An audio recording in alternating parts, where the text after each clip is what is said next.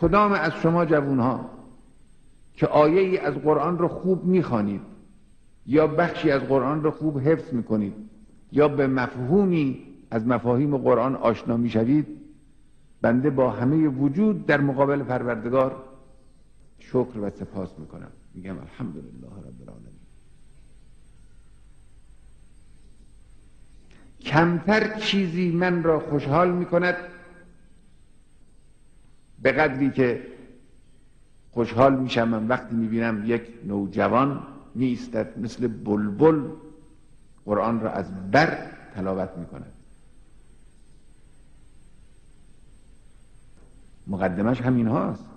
اگر بخواهیم یک ملت شست میلیونی با قرآن به معنای واقعی کلمه آشنا بشود مقدماتش همین هاست.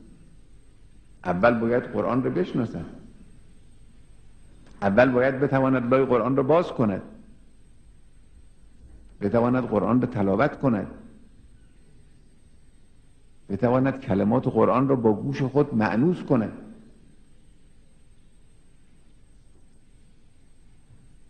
و قرآن اینجوریست. شما از هر زبانی که باشید اگر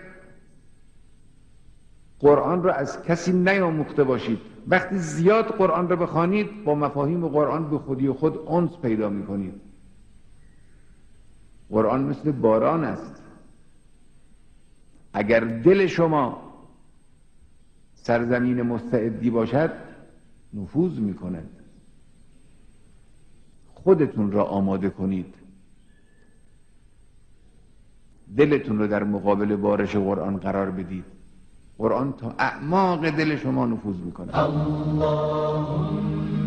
صل وآل محمد.